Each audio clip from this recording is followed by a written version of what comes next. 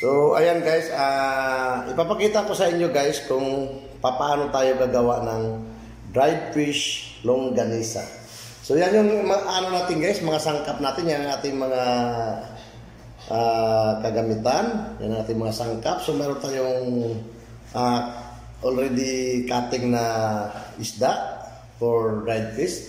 So, titimplahan natin siya guys. Ito yung mga sangkap natin. Meron tayong lemon, so garlic, uh, asukal, paminta, toyo, soka at saka salt. So yan ang ating uh, sangkap guys.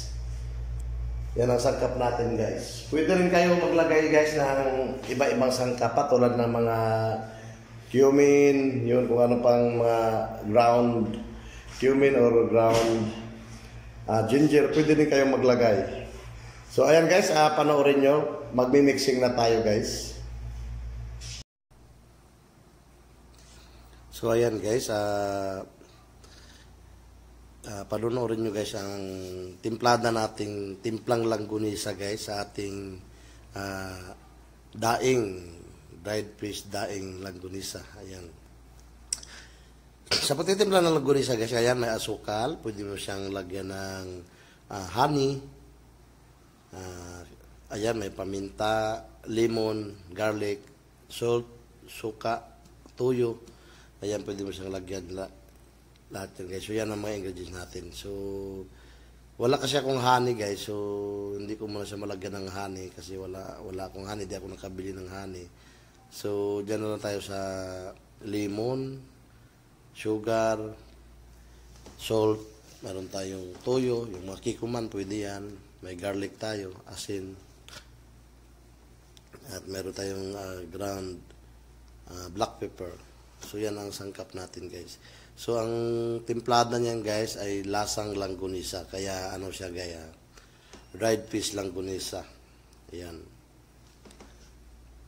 Sa mga ano guys, uh, sa inyo dyan, kung gusto nyo gumawa niyan, madali lang guys bili lang kayo ng isda or kung meron kayong sariling huli ng isda, pwede nyo siyang timplahan ng iba-ibang timpla guys. Gusto nyo ng medyo salted lang, na natural na lasa lang, uh, lasang uh, bawang at saka asin lang.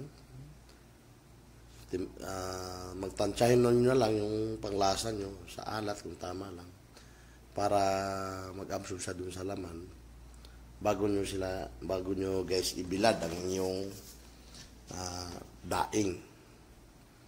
Tulad niyan guys, sa ginagawa ko, ang maging lasa niyan guys ay manamis-namis na uh, lasang uh, namnam mo yung lasa ng bawang ng garlic ano at saka ng ibang sangkap na nilalagay natin so napakadali lang guys sa pag ano sa paggawa ng daing. So, nakita nyo naman yung tinu may upload ako diyan tutorial. So, panoorin nyo lang kung paano mag paano magdaing, paano hiwain ng isda, at paano timplahan. So, i-mix na natin naman mabuti guys. So, ito guys, na-mix na. So, pag na-mix na siya guys na mabuti, ang gagawin natin sa isda guys ay ganito. So, ito guys. So, don't forget guys, before before uh, uh, one guys uh, making what making guys you're making food or you're making dried fish so don't forget to clean your hand guys. So ito guys yan ikagano lang natin. Yan. Sasawsaw nyo lang guys. Sasawsaw nyo lang. Ang ating isda na gagawing daing. So, na, nahiwa na siya guys. So, isasaw-saw lang natin siya. Sasaw-saw lang. Ganyan lang gagawin guys. Isasaw-saw mo lang. Yan lang guys. Kasi may tubig. Kasi ko lang yung tubig niya.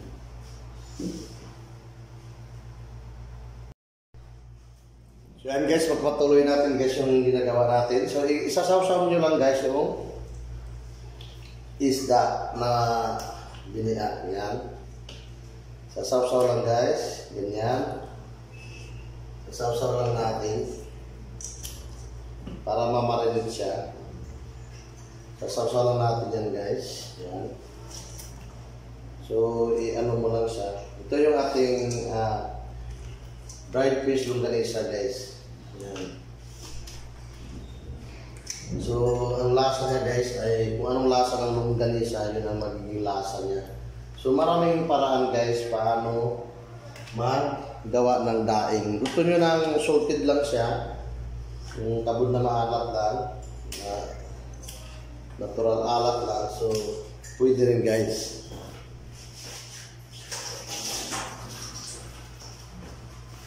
So, ayan na yan guys. Ayan na yung ano natin. Ah, dried fish, longganisa preparation. Yan na yun. So, ayan na guys. Ah, so, di ba nat- may natitira tayo sauce guys? Iayos lang natin ito ng mabuti. Yan. At saka, ayos lang natin ng mabuti guys yung ating isda para mamarinate siya ng maganda. So, ibibilan natin siya guys na ng mga 1 hour para mag-ano siya guys, mag ah, ano siya, mag-absorb yung kanyang timplada. So ganyan nilalagay natin guys yung sauce. Saka natin siya guys ibibilan. Ibibilan natin siya na nakalagay yung sauce para yung timplada niya guys ay ano, magmi-mix talaga ng mabuti. So ayan na guys yung preparation natin na dried fish longganisa. Ayan guys yung ating dried fish longganisa. Ayan. So yan yung ating dried fish longganisa guys.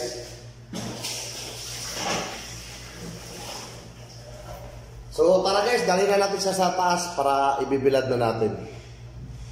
So tara guys, ah, pupuntahan na natin dito sa rooftop. Puntahan na natin guys ang ating ginawang ah, langgonisa dried fish. Dried fish langgonisa guys. Ito na ang result guys. Yan guys, ah, after ah, ah, almost 2 hours guys. So yan ang result niya guys. Yan ang result ng ating ah, dried fish longganisa. So yan yung result guys. Ayan, titingnan niyo siya guys. Oh. So ngayon guys, itatransfer ko siya uli sa isang lagayan. So ayan na guys. So may mayroon pa siyang katas guys. So, igaganyan lang natin siya para lalo siyang ano mag-absorb. So yan guys. So nakaano na siya. So ayan. Ito transfer natin para lalo siyang matutuyo. So, absorb na siya guys. Pwede na natin siya mamaya pag ano natin, pwede na siyang lulutuin. So, ayan guys. So, nabilad na natin siya ng almost 2 hours. So, ngayon, i-transfer natin siya for final na guys. So, for final na. So, ayan guys. So, igagano natin ulit siya guys para mag-absorb lalo yung lasa. Saka natin i-transfer na dito sa ah, ibang lagayan. So, ibang plate. So, yan ano natin para magpantay. Ayan. So, ganito guys. Uh, sana guys may natutunan kayo. So, huwag lang kalimutan guys, i-like, subscribe ang aking channel para meron marami pa update kayo sa mga video. So, i-all nyo na para update kayo guys. Yan guys. So, lagay lang natin dito guys para maging final na siyang pagka daing guys. So, mamayang hapon guys, pwede na natin siyang lutuin. So, papakita ko na sa inyo mamaya pag ano na siya. Tuyong-tuyo na siya total eh. Ayan guys. So, yan. So, nabilad na natin siya ng ah ito yung lapu-lapu guys. So, nabilad na natin siya ng ano guys isang oras mahigit halos dalawang oras guys so ito na yung naging resulta niya ayan so ayan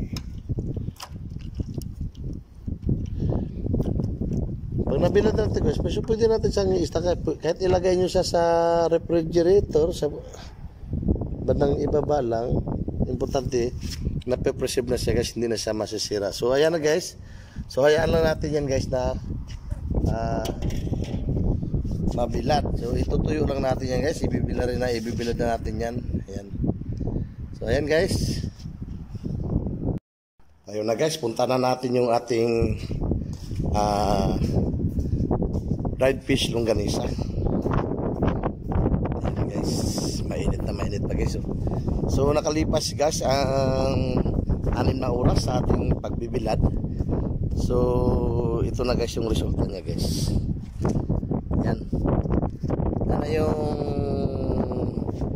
ah dried fish na timpladang longganisa. Yan na yung result guys. So, ayan guys. Oh. Yan. So, yummy na siya guys. Pwede natin lutuin guys. Pwede na tayong magluto nito. Yan, pwede na tayong magluto guys. So, yan guys, panoorin nyo. Ayan. So, yan na yung result niya guys. Yan. Yan na yung result niya. Yan na result. So, pwede na siyang ilagay sa ilalim ng ref guys or pwede, pwede mo siyang ibilad pa ng ibilad hanggang siya matuyong matuyo ng todo. Pero yan guys, pwede na yan. Pwede na siyang lutuin. Yan. Kung gusto mong ilagay sa ref yan, yan pwede na yan. Hanggang lutuin mo siya. Yan guys.